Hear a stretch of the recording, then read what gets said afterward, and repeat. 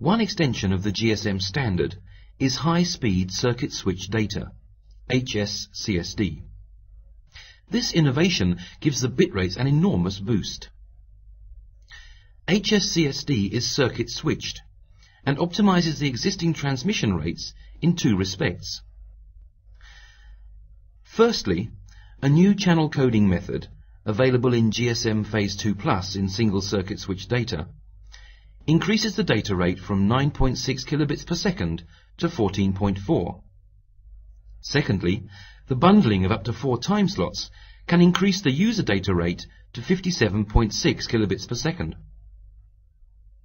This allows, for example, faster email transfer, faster file transfer, and speedier and thus cheaper web browsing and data download from the internet.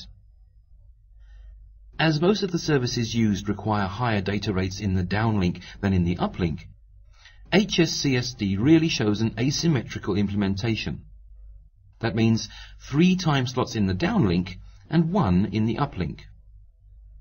This also facilitates mobile station design and avoids battery capacity problems.